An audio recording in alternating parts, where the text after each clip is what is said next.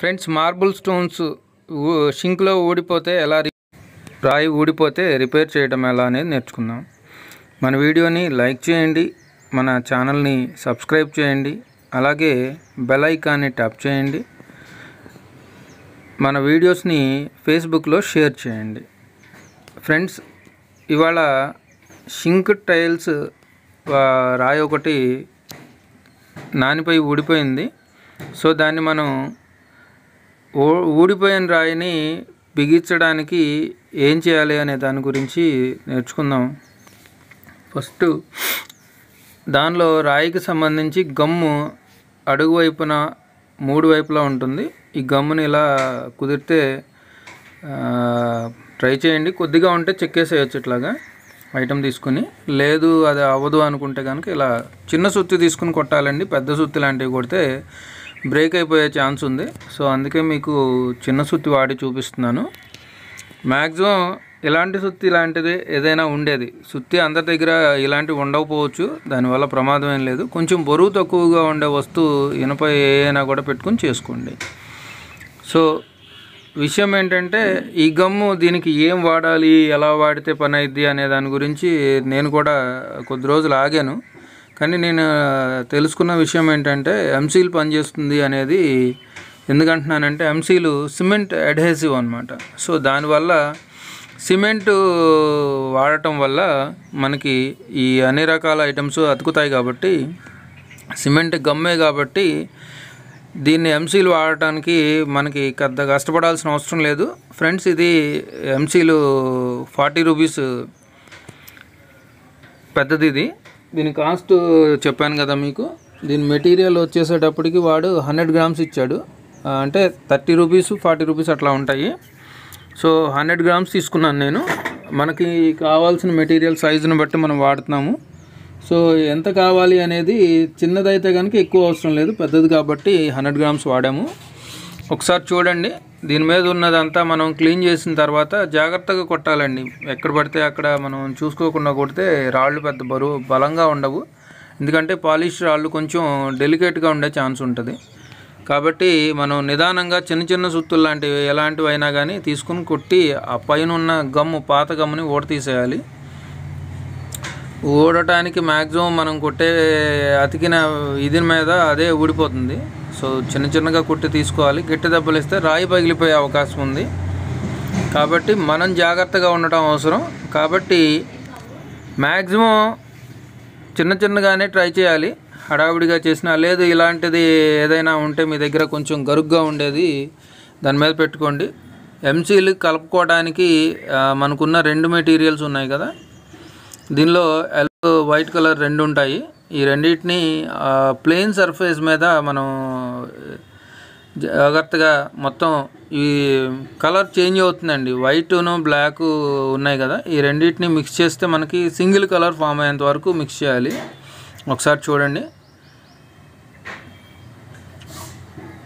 మనకున్న కలర్స్లో సో అలా నాలుగు వైపులా మడతలేస్తే అలా తిప్పుతూ ఉండాలి. మనం చేసే గమ్ము మ్యాక్సిమం అలా రొటేట్ చేస్తూ ఉంటే గమ్ము ఒకదానిలో ఒకటి లోపలికి వెళ్ళిపోతుంది కాబట్టి కలరు మనకు కావలసిన మౌల్డ్లోకి రెడీ అవుతుంది. సో ఏంటంటే బ్లాక్ కలర్లోకి రావాలంటే వైట్ దానిలోకి వెళ్ళిపోవాలి. మొత్తం అంతా కలిసిపోవాలి. పూర్తిగా కలిసేలాగా ఇలా రోల్ చేయండి. ఇలా రోల్ చేస్తే ఇంకొంచెం స్పీడ్గా అవుతుంది. మ్యాక్సిమం ఇది ఆరిపోవటానికి టైం ఒక ten minutes five to ten minutes వరకు అవకాశం ఉంటుంది.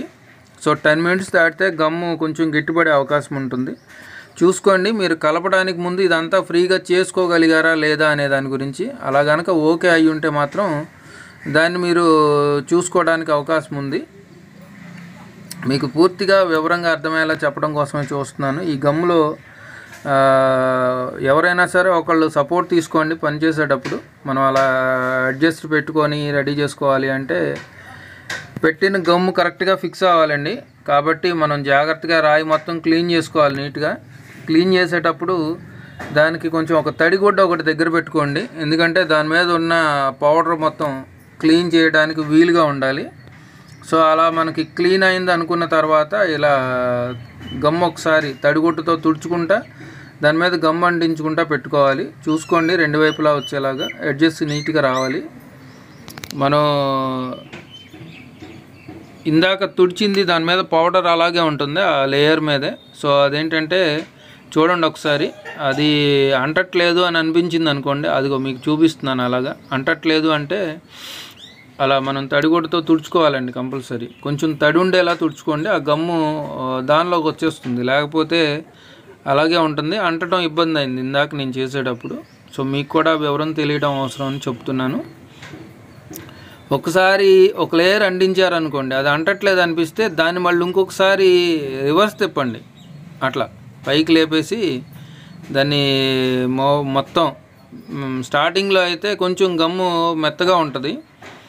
మనం టైంలోపు చేయకపోతే కనుక ఈ గమ్ము ఎంసీల్ అనేది దానిలో ఉన్న గమ్ము గట్టిపడుతుంది కాబట్టి కొంచెం గట్టిపడే అవకాశం ఉంటుంది. అట్లా ఎక్కడైతే అంటట్లేదో దాన్ని రెండో వైపు తిప్పేసేయండి. ఆ మొక్క అక్కడి నుంచి తిప్పి దాని వైపుకి మార్చేసుకోండి. అదే మీకు చూపిస్తున్నాను. దాని మీద పౌడర్ అంటింది అనుకోండి అక్కడ అంటదు. అందుకనే దాన్ని మనం తిప్పేయడం జరుగుతుంది. చూడండి. సో అలా మనం తిప్పడం చేయకపోతే అది గమ్ము అంతకదండి. ఇబ్బంది పడతాం. మనం చేసిన పని వేస్ట్ అయిపోతుంది.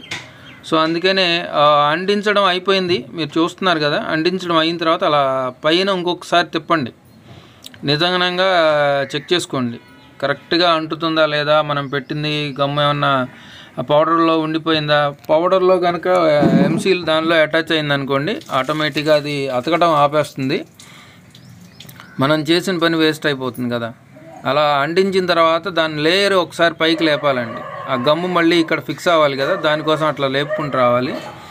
సో దాన్ని మనం అలా పెట్టడం ఎందుకంటే ఈ సెకండ్ లేయర్ షింక్ లేయర్ మీద అది అంటాలి కదా దానికోసం. కావాల్సినంత తీసుకొని చిన్నగా చేయండి. ఒకసారి మన చేతిలో ఆరిపోకుండా వీలైతే ఆ కవర్లో పెట్టి అట్టు పెట్టండి. ఆరిపోతే త్వరగా గమ్ము గట్టిపడిపోయే ఛాన్స్ ఉంటుంది. సో అందుకే ఎంసీలు మనం జాగ్రత్తగా చూసుకోవాలి. గా గాలి తగలకుండా పెట్టుకోండి. హండ్రెడ్ గ్రామ్స్ గమ్ము తీసాం మనం. సో అందుకనే ఆ గమ్ము మనకి ఈజీగా ఉండేలా చూసుకోండి. రెండో విషయం ఏంటంటే చేసేటప్పుడు కొంచెం జాగ్రత్తగా చూసుకోండి మీరు. నీట్గా లేయర్ మొత్తం మనం ఏ వైపు అయితే అంటిస్తున్నామో ఆ వైపే మాత్రమే అది మిగిలేలా చూసుకోండి. పొరపాటున సైడ్ అంటించి ఇబ్బంది పడవాకండి. దీనికి కింద వైపు మాత్రమే అంటించాలి పై వైపు లోపలికి అంటించాలి. సో అలా అంటించేటప్పుడు మనకి ఇబ్బంది అయింది అనుకోండి రాడ్ లాంటిది ఏదైనా తీసుకొని మీకు ఇప్పుడు చూపిస్తాను నేను. దాంతో దాని మీద ప్రెస్ చేశారనుకోండి మన చపాతీ పిండి మీద చపాతీ కర్త ఎలా చేస్తామో అట్లా పిండిలాగా చేసుకోవచ్చు. స్టార్టింగ్లో మనం కలిపేటప్పుడు కూడా అలాగే వాడుకున్నా ఏం కాదు. అలా చేస్తే మనకి నీట్గా ఇక చూడండి ఇలా చపాతీ పిండిలా పెట్టామనుకోండి దాని లేయర్ కంటిపోతుంది అన్నమాట మనకి ఇబ్బంది లేకుండా ఉంటుంది. కానీ మళ్ళీ ఇంకొకసారి దాన్ని లేపుకోవాలి. నేను టైం చేసేటప్పటికి దాదాపు టెన్ మినిట్స్ అయిపోయేటప్పటికి గమ్ గట్టిపడింది. సో దానికోసం దాన్ని అట్లా రాడ్ తీసుకుని ఐరన్ రాడ్ తోటి నొక్కడం జరిగింది. మీరు ఆ ఇబ్బంది పడకుండా ఉండటం కోసం ఏం చేయాలంటే ఆరిపోకుండా చూసుకోవాలి. ఆ డబ్బాలోనే కవర్లో పెట్టి అట్టు పెట్టండి. ఎప్పుడు అవసరమైనప్పుడు అప్పుడు ముక్క తీసుకోండి. ఒక మనిషి సపోర్ట్ తీసుకోండి కంపల్సరీ. ఒక్కళ్ళ మీద చేయడానికి వీలు కాదు కాబట్టి ఇద్దరం చేయాల్సి ఉంటుంది. సో దాన్ని మనం జాగ్రత్తగా చూసుకుని చేసుకుంటా రావాలి. అవసరానికి ఇంకో మనిషి ఉండటం ఏంటంటే సపోర్ట్ మనకి రాయి పిసిక్కిపోకుండా కదులుతుంది చూసారా? అట్లా కదిలి పాడైపోకుండా ఉండటం కోసం ఇబ్బంది లేకుండా పెట్టుకోవాలి. ఇప్పుడు మనం ఈ రాయిని అటాచ్ చేసుకునేటప్పుడు కొంచెం జాగ్రత్త చూసుకోండి. ఆ కింద ఉన్నదంతా ఒక్కసారి క్లీన్ చేయాలండి మనం. నీట్గా సర్ఫేస్ అంతా తడిగుడ్డతోటి తుడిచేసుకొని అప్పుడు దాన్ని అంటించడానికి రెడీ అవ్వాలి. అంటించేటప్పుడు మొత్తం అన్ని వైపులా అంటిందా లేదో చూసుకోండి. ఒకసారి బెగ్గొట్టుకోవాలి. దానికి కుదిరితే ఎలా చేయాలనేది ఇప్పుడు మీకు చూపిస్తాను. గట్టిగా నొక్కండి. నొక్కితే ఎంసీలు గట్టిగానే అంటుకుంటుంది.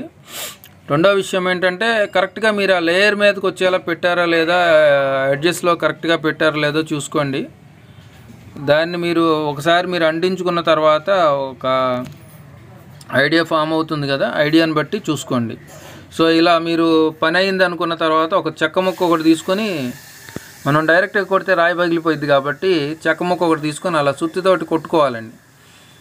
సుత్తితో కొడతా ఉంటే ఆటోమేటిక్గా అక్కడ ఏదన్నా ఆగిపోయినా కానీ అంటకుండా గా మధ్యలో గాడి ఏదన్నా మిగిలిపోయినా దీని వ- మనం కొట్టడం వల్ల ఆ ఒత్తిడిగా అది కిందకి దిగుతుంది అనమాట సో గమ్ అంటుతుంది కాబట్టి నీట్గా సెట్ అయిపోతుంది.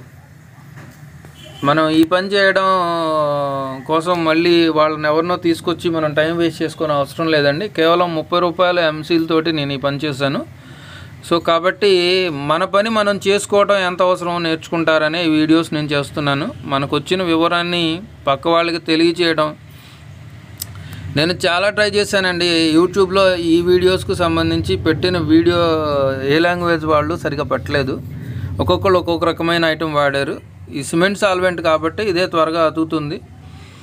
కాబట్టి మనం ఒకటికి రెండు సార్లు చెక్ చేసుకోవాలండి. కరెక్ట్గా లేయర్ అని ఫామ్ అయిందా అన్ని వైపులా అంటిందా లేదా అని చెక్ చేసుకోవడం అవసరం అవుతుంది. అందుకనే దాన్ని మనం జాగ్రత్తగా చూసుకొని రాయి కదండి బై మిస్టేక్ ఏదైనా గట్టిగా కొడితే పగిలిపోతుంది. ఇప్పుడు కూడా సరైన ప్రెజర్తోనే కొట్టాలండి. అలా కొట్టకపోతే ఇబ్బంది పడుతుంది మనకి. తర్వాత ఇప్పుడు గమ్ అంటించాం కదండి. మన చేతుల మీద ఉండిపోతుంది. నేను స్టార్టింగ్లో ఈ గమ్ము గురించి మీకు చూపించలేదు. చేతి నిండా నల్లగా అయిపోయింది. ఇలాంటి స్క్రబ్బర్ తోటి పీసు స్టీల్ పీస్ తోటి చేతులు రుద్దుకోండి. అలా రుద్దితే ఆటోమేటిక్గా పోతుంది. తడి చే తడి తడిలో చేతులు తడి చేసుకొని రుద్దుకుంటా పెట్టుకోండి. పోయింది కదండి చూడండి. నేను మీ Ravivarma Sri Naveena Satabdi A to Z solutions నుంచి బాయ్ ఫ్రెండ్స్ మళ్ళీ కలుద్దాం నెక్స్ట్ వీడియోలో